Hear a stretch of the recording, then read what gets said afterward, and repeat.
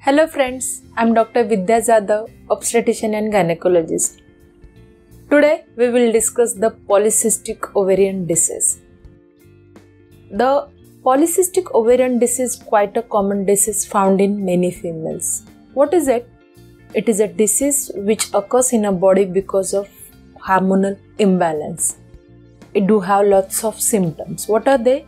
There is irregular menses, inability to consume or infertility, weight gain, excessive acne, hirsutism, body pigmentation, and sugar intolerance. So, this group of the symptoms which are caused because of the hormonal disturbances, they are called as polycystic ovarian disease. They are called so because the structural change in ovaries are cyst-like things are seen in ovaries and that's why it is called as polycystic ovarian disease. Why does polycystic ovarian disease occur?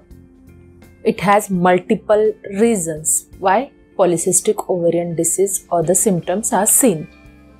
It starts with a hereditary or genetic tendency. It is predisposed in a families.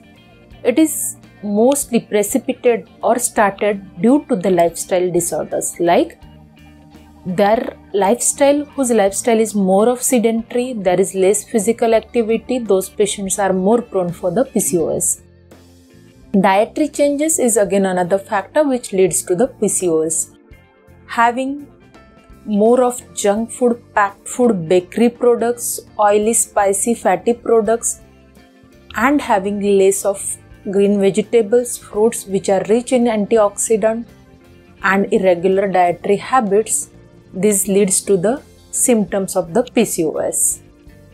There's another reason theory suggested which causes PCOS is inflammation of the ovary. So these multiple factors leads to the formation of the multiple cysts in the ovaries and which manifest as a PCOS. What are the symptoms of the PCOS? Increased weight gain, which is unexplained, irregularities of the menses, it can be in the form of delayed menses, less menstrual bleeding, irregular menses, or sometimes it can be a heavy menses also. Associated with the acne, multiple hirsutisms, and intolerance to the sugar, which means to the diabetic like changes. The female who is trying to conceive, there is a difficulty for conceiving and the pregnancy also that is fertility or infertility. How do we confirm the diagnosis of the PCOS? If you see any symptoms as suggested by me, you can meet your gynecologist and your gynecologist can confirm your dis- uh, disease of the polycystic ovarian uh, disease by doing ultrasonography of the pelvis where multiple ovarian cysts are seen and some blood hormonal levels which will confirm increased level of the luteinizing hormone and compared to that little less level of the FSH like hormone and increased level of the androgens in the body.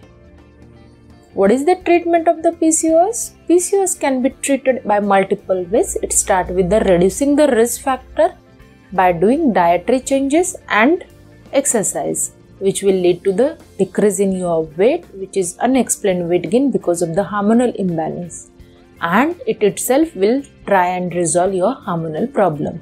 In mild to moderate cases, it can be the only treatment for the PCOS. For the infertile couples, it may need sometimes hormonal and non hormonal treatment by the gynecologist. Thank you.